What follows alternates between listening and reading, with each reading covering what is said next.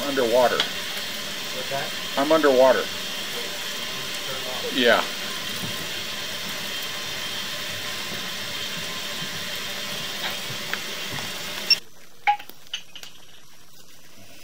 Surprised it hasn't backed up on him. Yeah, see, it's the sewer's plugged at 33 feet. And then when I go past it, it's clay pipe.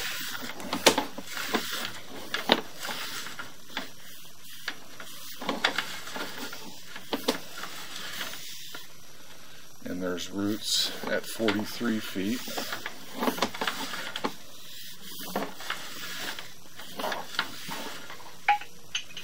And then it becomes PVC pipe at 50 feet. And then there's the sewer. So it's going into that manhole out in the yard. That's where the sewers all come together.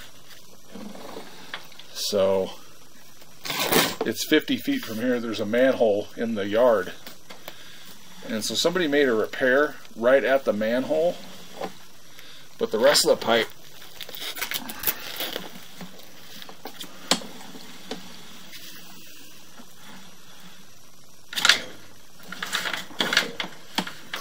Come on, clear.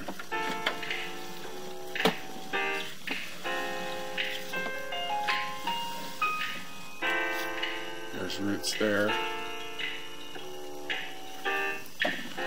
37 feet.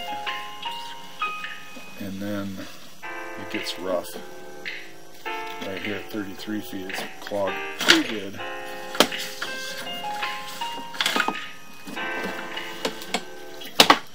and there's roots all laying through the pipe. And then we go underwater because it's backed up. So now I'm underwater, coming out. And then we're back into the cast iron pipe. But you can see water sitting in the bottom of the pipe. So the pipe is almost all the way full of water because it's it's blocked.